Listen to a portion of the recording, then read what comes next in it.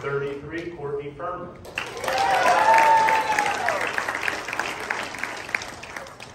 What a nice job Courtney did, again, both coming off the bench in the beginning of the season and then as a starter as the season progressed. Courtney played a significant role as she demonstrated in her first big appearance in our 35-30 win over Shawnee by coming in the game and hitting a huge three-pointer. That really was the start for us to hold other teams accountable and how they were trying to defend us.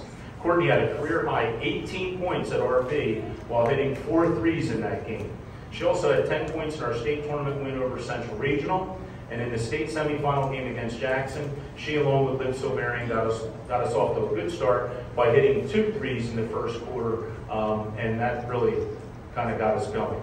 Courtney led us in three-point baskets made. She had 31 this year. She also shot 32 for 37 from the foul line. That's like 86%. That's like almost automatic, all right? She also got on the floor after 50-50 loose balls as oftentimes her knee showed by being bruised up during the season.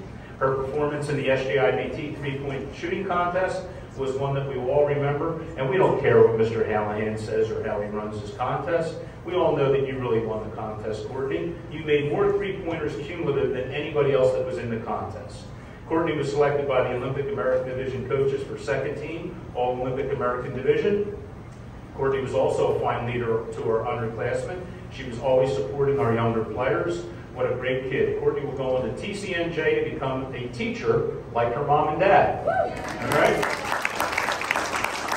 We, the coaches, are so happy that you had a great senior season, Courtney. Ladies and gentlemen, Courtney Furman.